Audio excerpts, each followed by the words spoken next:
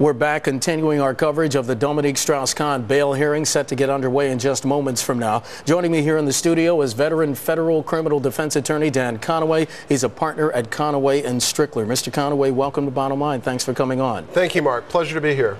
Set this up for folks at one of these bail hearings. I, I hate to go into the world of fiction, but is it like Law and Order? How, how do these things work? uh, Law and Order is not reality TV. Um, usually the bail hearings there last about two seconds. Absolutely. This, this, bail hearing will probably last a long time, and it's going to really be based and focused on one major issue, and the major issue being flight risk. Yeah. This individual is, quite frankly, uh, a flight risk. He has the means, he has the contacts, and he's not and he's a foreign national. He's a French citizen. And so when you think about it in those respects, the prosecution has strong arguments for having bail denied. And to speak quite plainly, if this were any, any other individual except a very powerful individual, such as we have here, I think bail would be denied. Okay, so what's the defense's argument? The defense's argument is that yes, this person does have the money and the means, but he's already claimed his, he is innocent. He has retained counsel. His counsel is applying for bail, but also his counsel is going to make sure that he gets back here and appears. And he wants his day in court. He wants his day in court because if you think about it, and this is what the French are really saying here, and they do have a point. The French are saying, look, with all the media coverage, with the perp walk that we call it in the defense world, uh, with the handcuffs and being shackled and walking around and all that kind of stuff and all the negative media. The pond's already been tainted? Yeah, he's already being prosecuted in the court of public opinion here in the U.S. So, on the basis of that, he has every reason and every incentive to come back here to clear his name.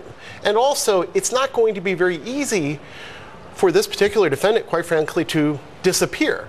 Yeah. I, I, don't think it's the same as the Polanski situation, which is what everybody's been talking about. Roman Polanski, the director who was no. accused of uh, sex with an underage with a minor and then fled the jurisdiction, correct? Exactly, right. In this particular set of circumstances, we have a, a different person, a different set of facts, and someone who is really stepping out to the plate to challenge the situation. Mr. Conaway, let me ask you, because the French have made a lot of that perp walk, as you say, because their presumption is that unless the person has actually gone through a trial and been convicted, you don't want to taint the jury pool by showing him basically already as a criminal being led in handcuffs. Is there any validation to that? There is and there isn't, and there's two sides to it. The one argument is, and the French argument is that exactly what you said. And under their French system of law, that makes more sense because they have what's called an inquisitional system of law. Mm-hmm. Basically, the judge runs everything, and then both sides investigate the crime, but he runs the investigation. But it's not purely adversarial. Our system of law is based upon Anglo Saxon common law. It is a purely adversarial system that gives you advantages. Your defense lawyer can do a lot more. You have the right to a jury trial of your peers. But at the same time, and this is what I always tell my clients the police, the prosecutors, and so forth, they are your adversaries. And so in this in this way, yes, they want the perp walk in a way. Let, me ask you something, because we mentioned you are a veteran federal criminal defense attorney. When you have a high profile client like this, how much harder does it make your job? it makes it much harder because you do have to try it in the court of public opinion as well. And you really have to make sure that your client in the court of public opinion gets a fair hearing. And I think, quite frankly, his lawyers and also the French newspapers and the press he's gotten in the last couple of days have done a good job of that. Well, how then? Let me ask you: um, How do you, as an attorney, vigorously defend your client without again victimizing?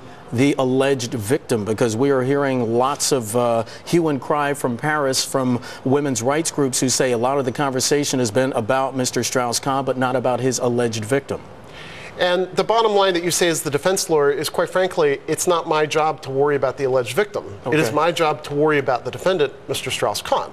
That is what is that is my job to do. I mean, that's what I'm here to do. That's what I've got to do. Does, I've got to defend my client. Does Mr. Strauss-Kahn make bail today? What do you think?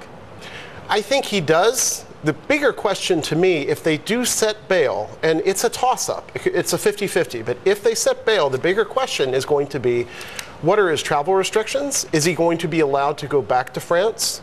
And what do, restrictions? Do you think would he be allowed to leave the country? I think it's I think it's a real stretch. But on the other hand, he has some good arguments on his side for letting that happen. But the number one block to that is that there's no formal extradition treaty in place between France and the United States. Absolutely. Dan Conaway, uh, veteran federal criminal defense attorney, now a partner at Conaway and Strickler, joining us here on set. It's a pleasure to meet you. Thanks so much for coming in. I appreciate that. Pleasure. Thank you, Mark. Thank you.